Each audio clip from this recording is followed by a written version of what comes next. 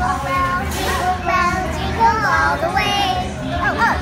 Hey guys, it's here. And here. And we're the. And.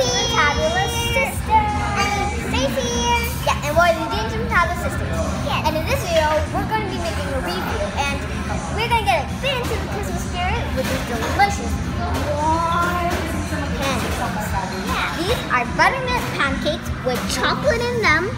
And have peanut butter with chocolate on top, butter, well, not, not peanut butter, just normal butter, maple syrup, and chocolate syrup.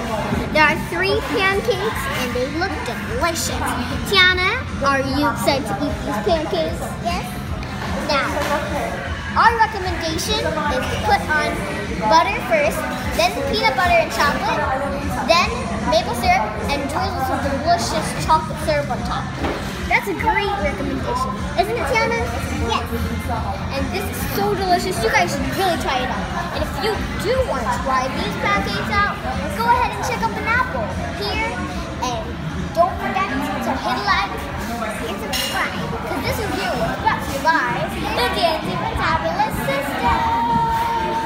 So good. Yeah. Oh, right. And we're back. This is a little snippet of the taste review of these pancakes.